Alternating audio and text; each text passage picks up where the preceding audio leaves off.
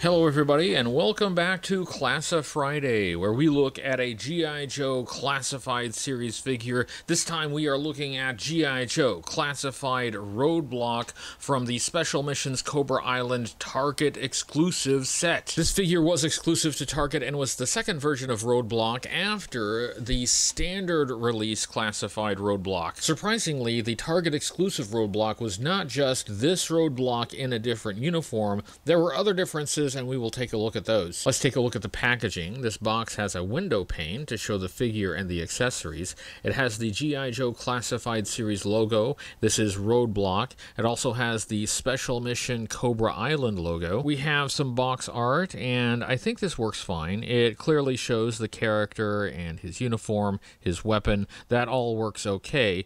Uh, that art continues to the side where we have a close up of Roadblock.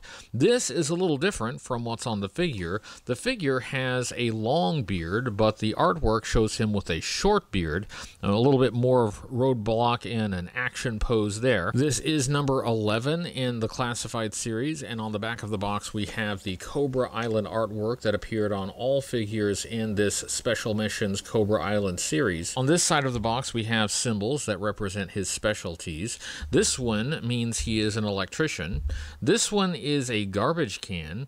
This means he has a strong Wi-Fi signal, and this is a robot angry eye. Now that we've looked at the box, let's take Roadblock out and take a look at the figure. Here is Roadblock out of the box, and all things being equal, I would say this is a pretty good looking action figure. However, all things are not equal, and I need to point out a couple things on this guy. This classified design of Roadblock does not take any inspiration from any vintage Roadblock figure, so I don't have a vintage Roadblock to compare compare it with. Let's start by looking at the figure's accessories. He includes this very large rail gun. It will fit in the figure's hands, as you can see. It worries me a little bit putting it in the figure's hand, though, because this grip on the front here, or in the, the middle of the weapon, uh, should fit in his left hand, and it does, but you kind of have to contort it a little bit to get it in his hand, and I'm worried that that's going to stress the plastic. This rail gun is quite long. It it is in dark gray plastic. It has lots of detail on it. It has a grip here at the top. It also has another grip here about in the middle for a second hand. There's also a grip here with a guard. I think you can use that, but it would be very difficult to get that in the figure's hand. It has blue highlights on both sides, and on this side it has a white tampo that says broiler. That's kind of cool. It also has a removable magazine. This this doesn't look like it fires traditional rounds, so this is probably a laser battery pack or something like that. This railgun is a reissue of the railgun that came with the first release of Classified Roadblock, that one being in silver plastic with red and blue highlights. Other than the railgun and the magazine, his only other accessory is his sunglasses, which are removable. You can take those off. They are very tiny. Now, having removable glasses like these is always a problem. These can easily fall off and get lost. However, there is a slot on his earpiece where these sunglasses will slot in there. That does hold them on a bit more securely, so I do prefer that over some of the other options. At least it will slot in. Let's take a look at Roadblock's articulation. He has the articulation that is standard for G.I. Joe Classified Series figures, which is always good, and it's a little better on this figure because he doesn't have a vest or a big belt or anything that would hinder the articulation anywhere. So he has great articulation on the head, uh, all the way around, up and down. Uh, there's actually double articulation. There's a ball joint at the base of the skull, and there is a twist at the neck that is not very easy to do, but it is an extra point of articulation there. Uh, he has butterfly joints at the shoulders, a little stiff on mine, at least on the left arm, but his arm will lift up and swivel at the shoulder all the way around. He has a twist at the bicep. He has a double jointed elbow. Uh, he has a twist at the wrist on both wrists, and on the right wrist, he also has a hinge that the wrist will move in and out. He has a hinge at the rib cage for an ab crunch, and there's a great range of motion on that, forward and back. He can limbo, that's impressive. He has a twist and a ball joint at the waist. He has a good leg split at the hip pop those legs back into their sockets. Good forward motion on the legs, not so much backward motion. He has a twist at the thigh cut. He has double jointed knees. He has a twist at the boot cut. He also has hinged very tight hinges, and rocker ankles. Let's take a look at the sculpt design and color of Roadblock, and I'll say right off the bat, this is basically a recolored re-release of version 1 of Roadblock with a different head, and of course this one has a vest that covers the chest, otherwise the parts are the same. While we're at it, I will point out, other than the head, this is basically the same figure as Gung Ho.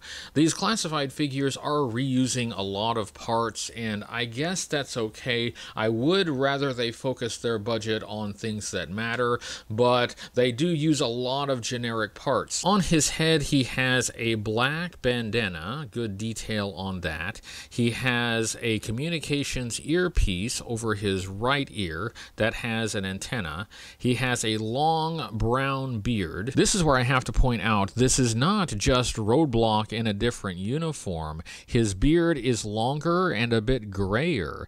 This Roadblock looks like he is a few years older than the first release Roadblock. That was a really long special mission on Cobra Island. He went in looking like this and came out looking like this. On his torso, he has a black sleeveless t shirt with a light gray digital camouflage pattern printed on it and a white G.I. Joe star logo across the chest. This shirt is painted on what would otherwise be a bare chest. For customizers, this may be convenient. If you're wanting to do a custom bare chested figure, you could just use this one and not have to cut any vests off or anything and just paint over this bare chest. His arms are bare and muscular, as you would expect from Roadblock. No sleeves on that t shirt. On his left arm, he has a Lion King tattoo. Roadblock is a big fan of the 90s Disney Renaissance. He has the Little Mermaid tattooed on his butt. On his right forearm, he has this black armor piece with straps straps that go around the forearm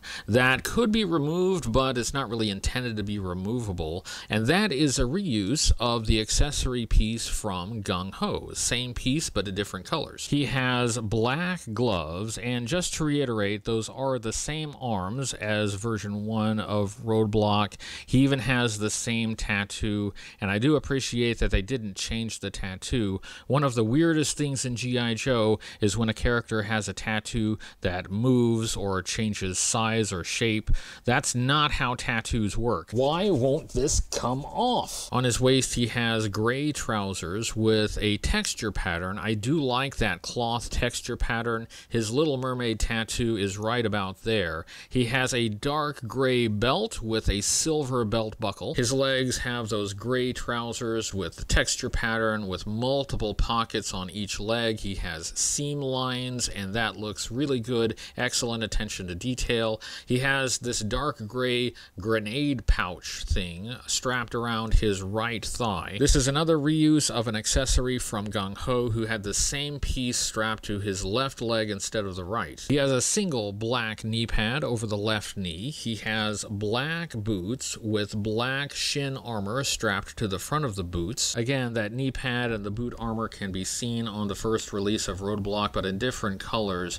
That first release of Roadblock had the gold armor that we saw on other Wave 1 G.I. Joe classified figures. Overall, I think this figure looks fine. It's a decent design, it looks good, but I do not like it as much as the first release of Roadblock. I guess I just don't get some of the design choices, like the head with the longer beard, meaning this is not just a uniform swap for Roadblock. This is the same guy, but at two different points in his life. This is an older Roadblock roadblock. The sculpt itself is good, and I really dig the communication device. I guess I just don't understand why. The t-shirt is also okay. It's an eye-catching design. I could see Roadblock wearing this on Casual Friday, but it's less tactical than the vest on the first release. I do think they made the right choice by making this a store exclusive. If you're gonna release a figure like this, it should not be a general released figure. There are better Roadblock figures out there, so if you are not a completist, you can safely skip this one